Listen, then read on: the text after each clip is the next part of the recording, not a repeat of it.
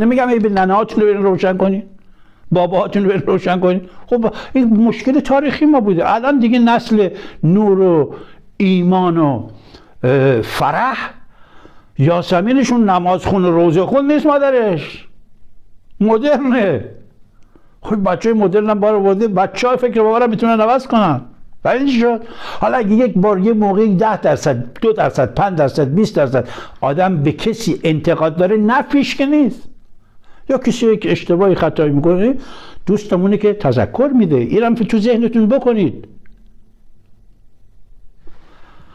جریانه که یاسمین دیگه ننه نیست که ننه بازی بخاطر خاطر اندازه و سید بازی با بچه هاش بچه هاش فرمانده هستن مثل دختان آریایی ولی یک هدیه امروز به جهان آریایی بدم اونم اینه که ببینید بعضی وقتا محمد رضا شاه شاهنشاه آریامه شهبانوی عزیزم خانم خانم خوشگل و خوشگل قد بلند ابرو کمند بسکتبالیست.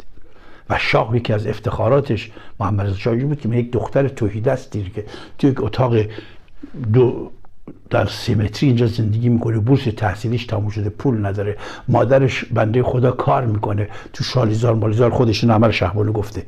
میره او رو می‌گیره. این از شکوه و عظمت پادشاه ماست.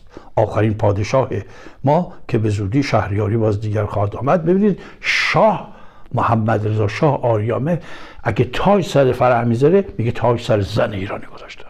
میگه چرا شاهنشاه؟ میگه همه مردم ایران شاه. و من شاه شاهان و و و حالا اونی که می‌خوام به شما که ببینید از چقدر زله بوده از دست این ننه ها این سید بازی ها یا خوندک بازی ها شما یاد بگیر ننه خود تول رو روشن کن عزیزم. کومیل و مومیل و خالد ابن ولید و اینا رو اول ننه خود روشن کن. محمد